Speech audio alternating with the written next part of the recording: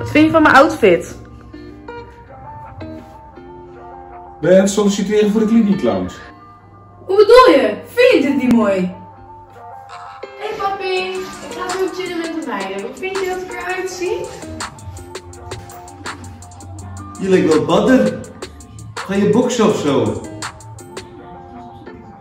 Maar deze heb ik net nieuw gekocht. Waar ga je heen? In dat? Het lijkt wel een nachtjapon. Wat u net zag in de voorafgaande video's is dus niet de juiste manier over hoe u goed feedback geeft op anderen. Daarom is feedback begonnen met het geven van online cursussen. Super tof. Daarin leren we u hoe u zelf goed feedback kunt geven op anderen en hoe u zelf best om kan gaan met negatieve feedback.